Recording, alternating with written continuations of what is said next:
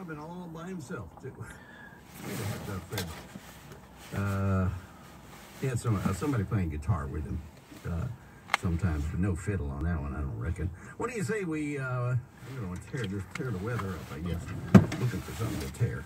Uh, what do you say we tear and compare on the air with the flare? Here's Roy Acuff. That's what his mule sounds like.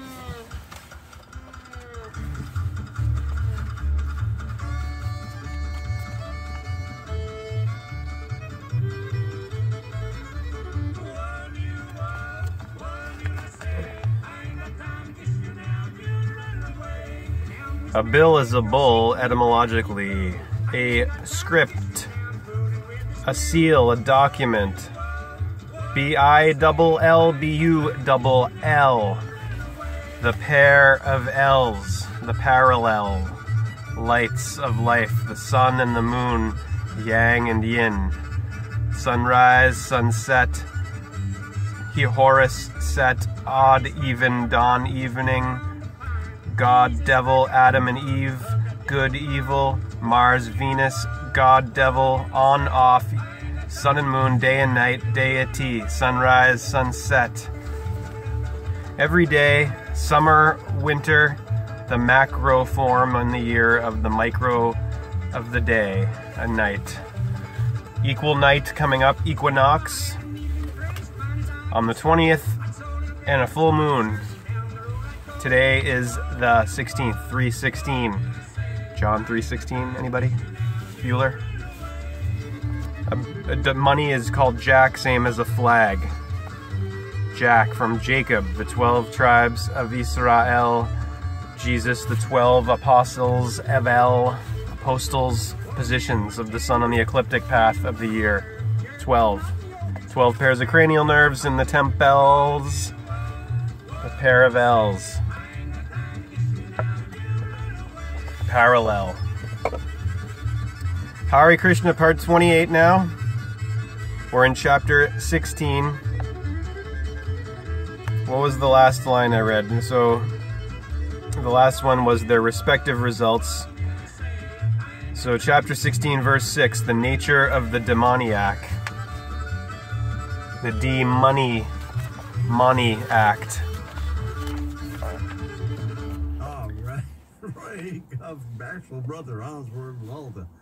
Smoky Mountain Boys. Smoky Mountain Boys. Wool Mule. And that's enough Wool Mule, right? I can play another one. Wool Mule. No, I, all right. I'm not going to do that right now, though. I've got to go dig around for it. The Straw of Ra. S T R A W S T R A S T A R. Stellar that's Ra. That's the kind of music the kids like. This the mid L well, light gonna, line of the uh, horizontal and vertical cross. Uh, uh, last Saturday when. Uh...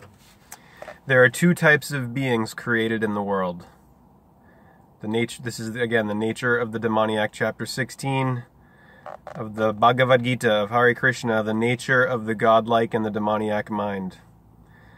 There are two types of beings created in the world the divine and the demoniac. The divine have been described at length. Hear from me, O Partha Arjuna, about the demoniac. The demoniac do not know about the way of action or the way of renunciation. Neither purity nor good conduct nor truth is found in them. They say that the world is unreal, without a basis, without a lord, not brought about in regular, causal sequence, caused by desire, in short. Holding fast to this view, these lost souls of feeble understanding, of cruel deeds, rise up as the enemies of the world for its destruction. Giving themselves up to insatiable desire, full of hypocrisy, expressing pride and arrogance, holding wrong views through delusion, they act with impure resolves. Obsessed with innumerable cares, which would end only with their death, looking upon the gratification of desires as their highest aim, assured that this is all. Bound by hundreds of ties of desire, given over to lust and anger, they strive to amass hordes of wealth by unjust means. for the gratification of their desires. This today has been gained by me. This desire I shall attain. This is mine, and this wealth also shall be mine in the future. This is in quotes now, from representing the demoniac thinking. This foe is slain by me, and others also I shall slay. I am the Lord. I, I am the enjoyer. So, wait, this is Krishna saying this. This foe is slain by me, and others I shall slay. I am the Lord, I am the enjoyer, I am successful, mighty, and happy. Or is this what the demoniac's saying? I'm not sure here. I am rich and well born. Who is there like unto me? I shall sacrifice, I shall give, I shall rejoice. Okay, that is what the demoniac are saying. Thus they say, deluded by ignorance.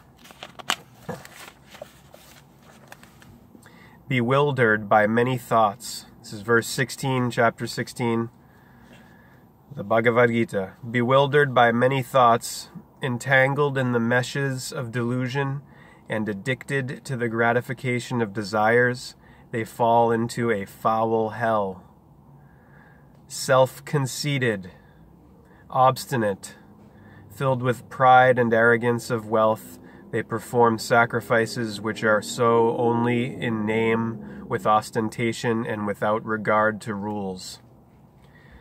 Given over to self conceit, force, and pride, and also to lust and anger, these malicious people desire me dwelling in the bodies of themselves and others.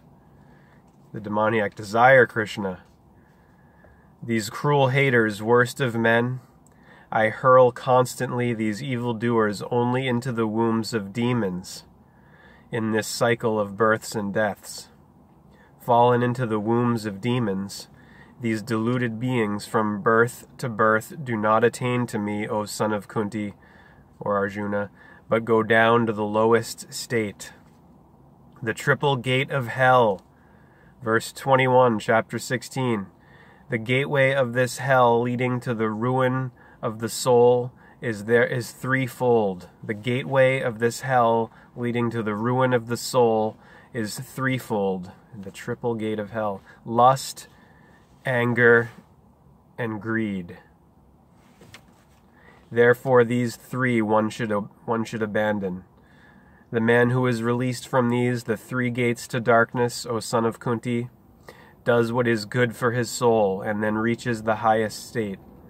But he who discards the scriptural law and acts as his desires prompt him, he does not attain either perfection of happiness or the highest goal. Therefore, let the scripture be thy authority for determining what should be done and what should not be done. Knowing what is declared by the rules of the scripture, thou shouldest do thy work in this world. This is the 16th chapter entitled The Yoga and the Distinction Between the Divine and the Demoniac Endowments. Chapter 17 next entitled The Three Modes Applied to Religious Phenomena. The Three Kinds of Faith. Hare Krishna.